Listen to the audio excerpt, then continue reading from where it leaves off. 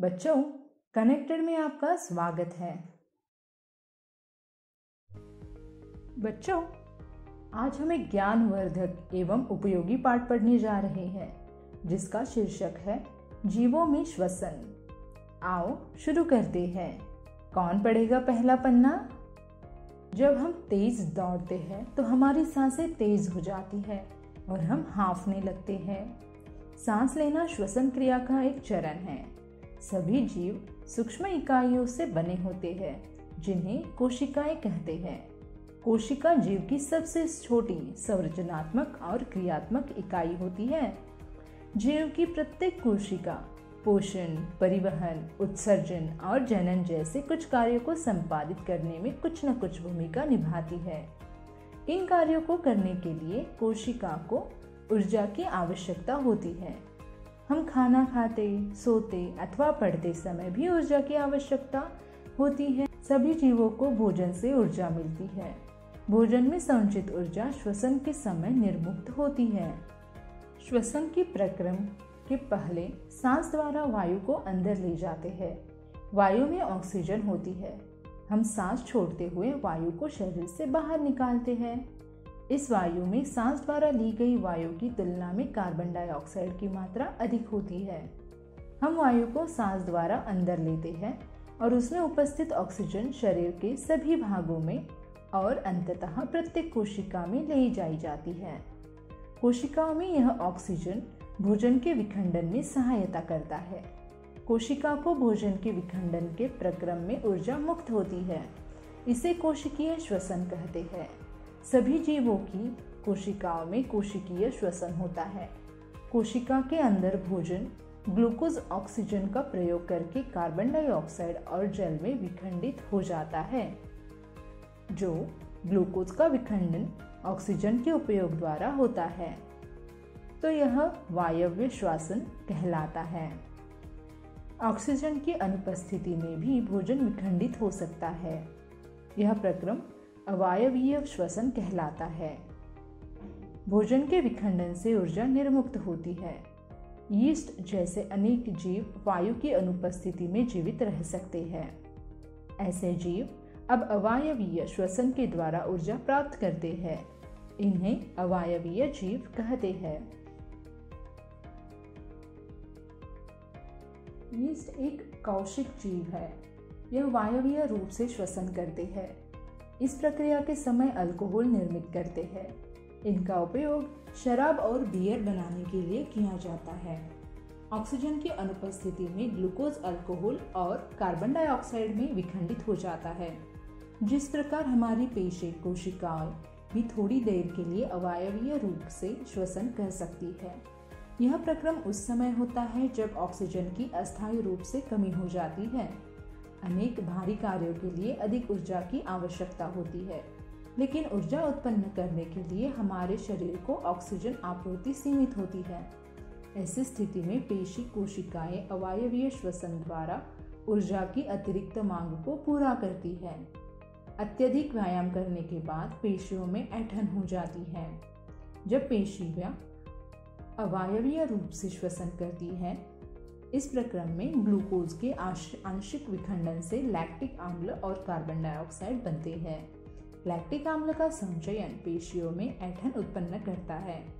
गर्म पानी से स्नान अथवा शरीर की मालिश करवाने पर ऑक्सीजन का संचालन बढ़ जाता है। इसके परिणाम स्वरूप पेशी कोशिकाओं को ऑक्सीजन की आपूर्ति बढ़ जाती है। ऑक्सीजन की आपूर्ति बढ़ जाने से लैक्टिक आम्ल का कार्बन डाइऑक्साइड और जल में पूर्णतः विखंडन हो जाता है।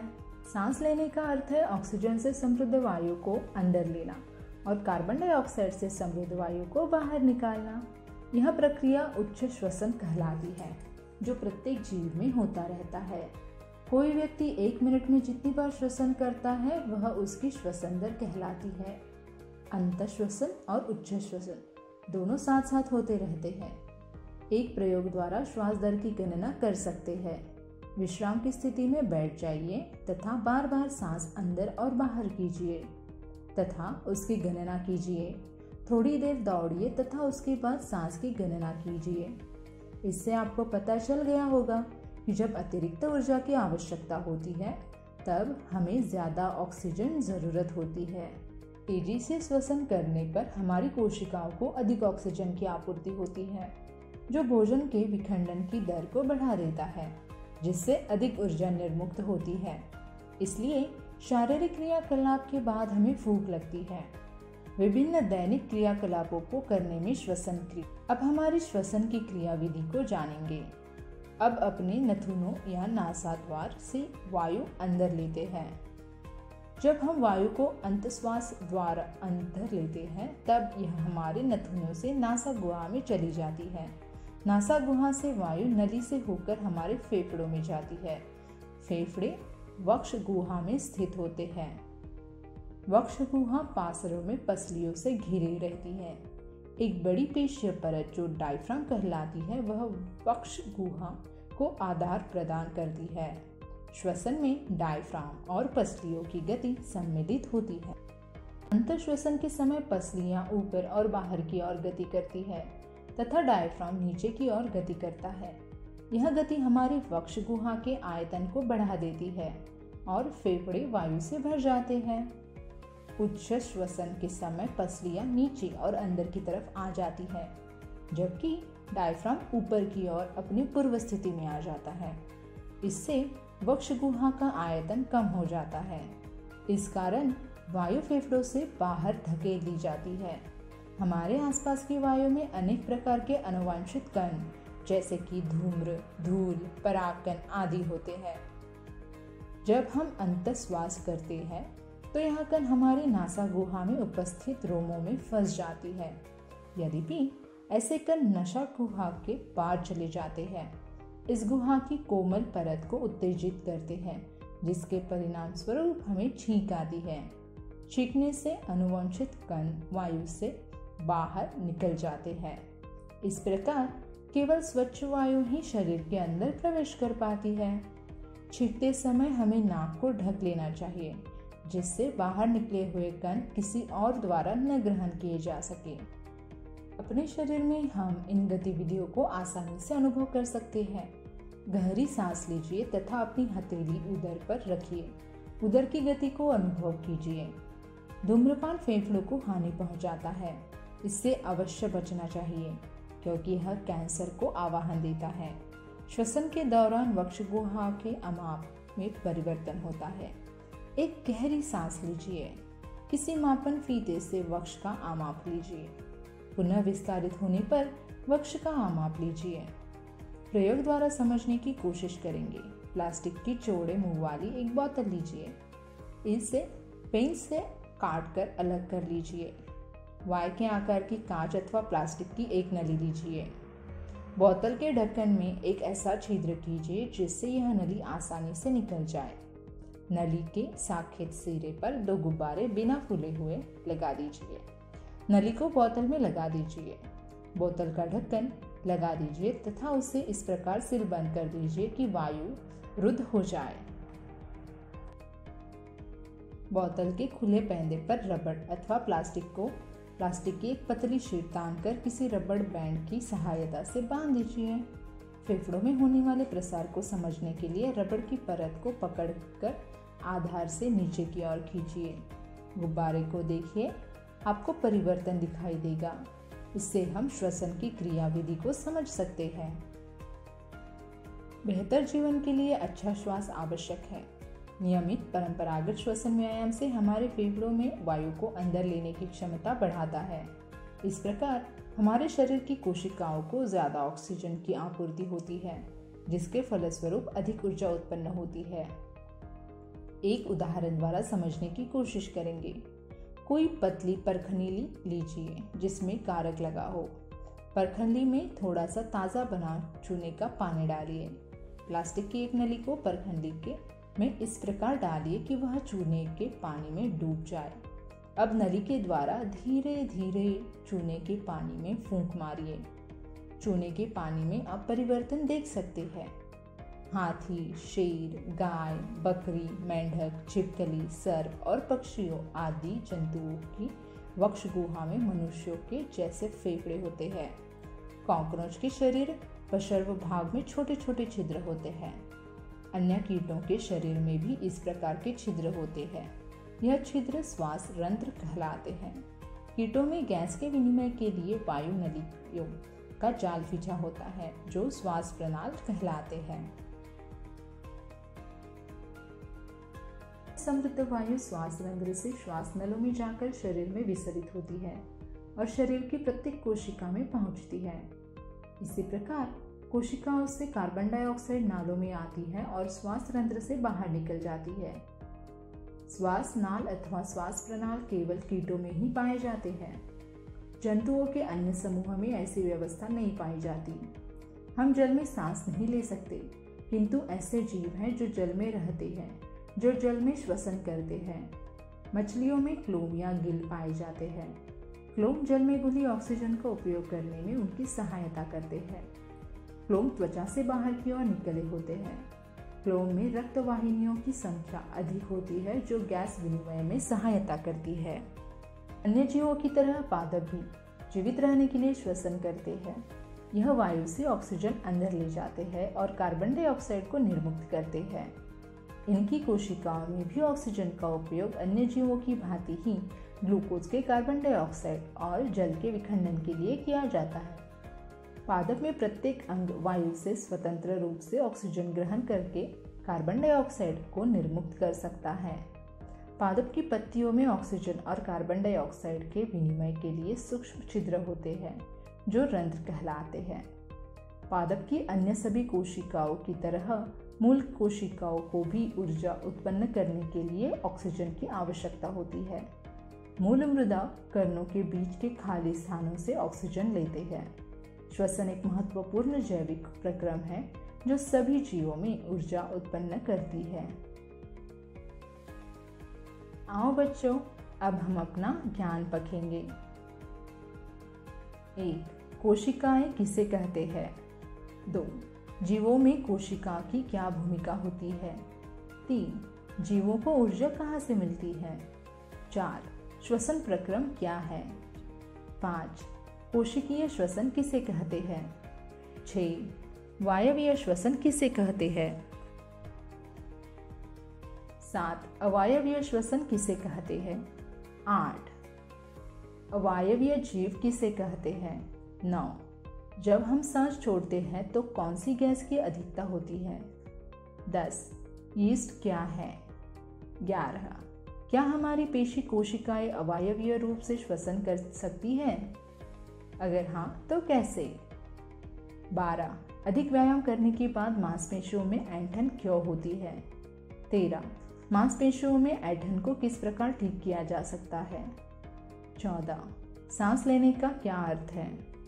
पंद्रह, अंत श्वसन किसे कहते हैं? सोलह, उच्च श्वसन किसे कहते हैं? सत्रह, श्वसन दूर किसे कहते हैं? अठारह, हम सांस कैसे लेते हैं। 19 डायफ्राम क्या करती है? 20 हमें छींक क्यों आती है?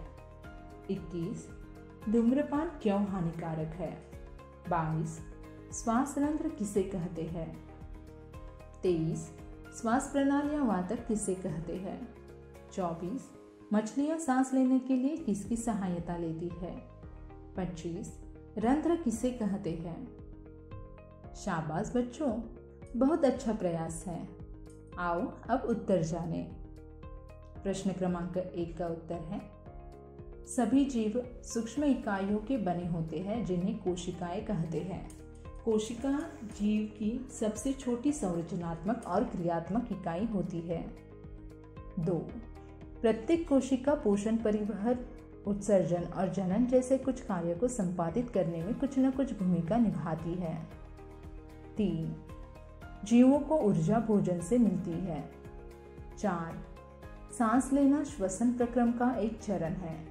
इसमें हम पहले श्वास द्वारा वायु को शरीर के अंदर ले जाते हैं, फिर हम सांस छोड़ते हुए वायु को शरीर से बाहर निकालते हैं, जिसमें कार्बन डाइऑक्साइड की मात्रा अधिक होती है।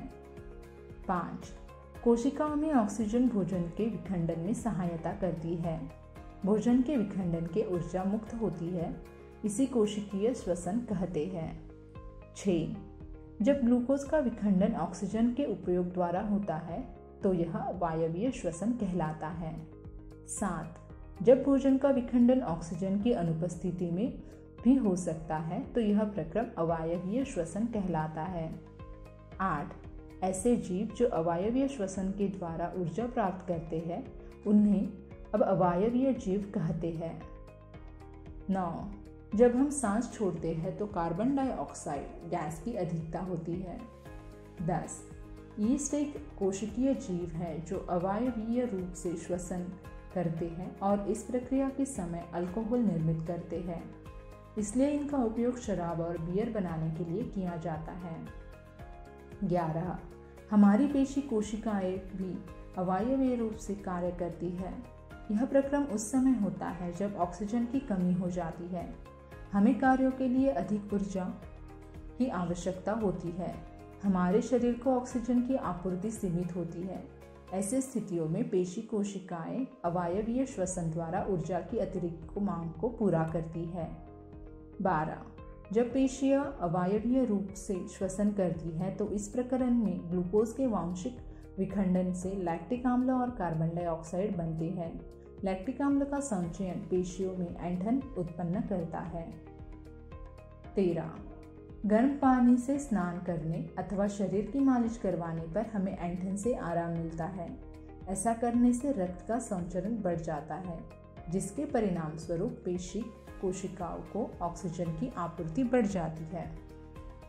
ऑक्सीजन की आपूर्ति बढ़ जाने से लैक्टिक अम्ल का कार्बन डाइऑक्साइड और जल में पूर्ण विखंडन हो जाता है। चौदह सांस लेने का अर्थ है ऑक्सीजन से समृद्ध वायु को अंदर खींचना तथा कार्बन डाइऑक्साइड से समृद्ध वायु को बाहर निकालना। पंद्रह ऑक्सीजन से समृद्ध वायु को शरीर के अंदर लेना अंत श्वसन कहलाता है। सोलह कार्बन डाइऑक्साइड से समृद्ध वायु को बाहर निकालना उच्च श्वसन कहलाता है। सत्रह, कोई व्यक्ति एक मिनट में जितनी बार श्वसन करता है, वह उसकी श्वसन दर कहलाती है। अठारह हम अपने नासा द्वारा से वायु अंदर लेते हैं। 19 यह एक बड़ी पेशीय परत है जो वक्ष गुहा को आधार प्रदान करती है। 20 जब अनेक प्रकार के अनुवांशिक कण हमारी नासा गुहा में उपस्थित रोमों में फंस जाते हैं, तब वे गुहा की कोमल परत को उत्तेजित करते हैं, जिसके परिणाम स्वरूप हमें छींक आती है और अनुवांशिक कण वायु के बाहर निकल जाते हैं। 21 धूम्रपान फेफड़ों को क्षति पहुंचाता है। इससे कैंसर होने की संभावना रहती है। बाईस, कॉकरोच के शरीर के पसर्व भाग में छोटे छोटे छिद्र होते हैं। अन्य कीटों के शरीर में भी इस प्रकार के छिद्र होते हैं। यह छिद्र श्वास रंध्र कहलाते हैं। तेईस, कीटों में गैस के विनिमय के लिए वायु नलियों का जाल बिछा होता है, जो श्वास प्रणाल या वातक कहलाते हैं। चौबीस मछलियाँ सांस लेने के लिए क्लोम की सहायता लेती है। पच्चीस, पादप की पत्तियों में ऑक्सीजन और कार्बन डाइऑक्साइड के विनिमय के लिए सूक्ष्म छिद्र होते हैं जो रंध्र कहलाते हैं। बच्चों, आज का पाठ समाप्त हुआ। आशा है कि आप सबको पसंद आया होगा। धन्यवाद।